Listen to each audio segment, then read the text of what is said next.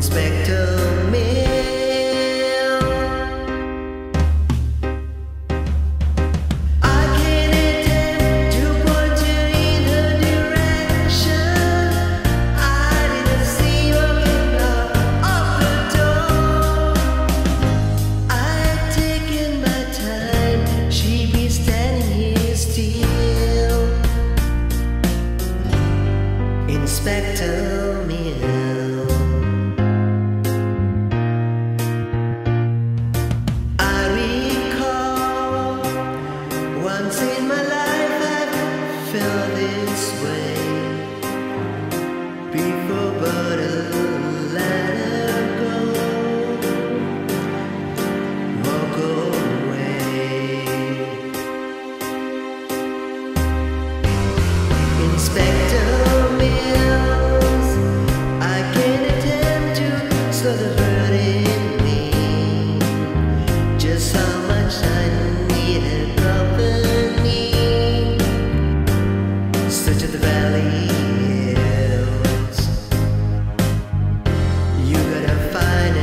to me.